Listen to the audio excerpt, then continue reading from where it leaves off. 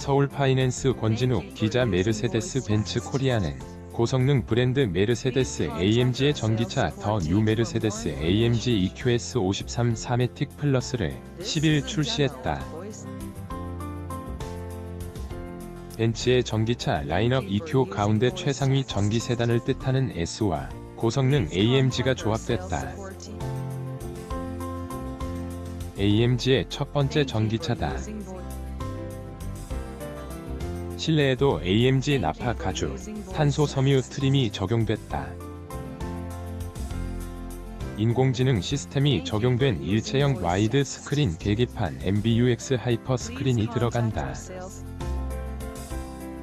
인공지능 시스템이 적용된 일체형 와이드 스크린 계기판 MBUX 하이퍼 스크린을 적용했다.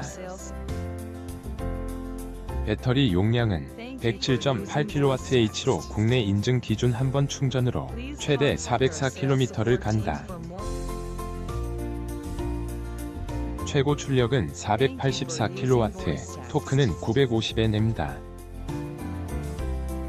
정지 상태에서 시속 100km까지 3.8초 걸린다.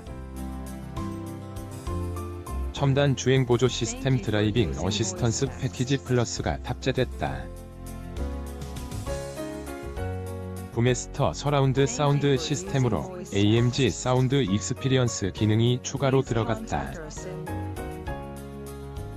가격은 2억 1,300만원으로 공식 전시장에서 상담 후 온라인 세일즈 플랫폼인 메르세데스 벤츠 스토어에서 14일부터 구매 가능하다.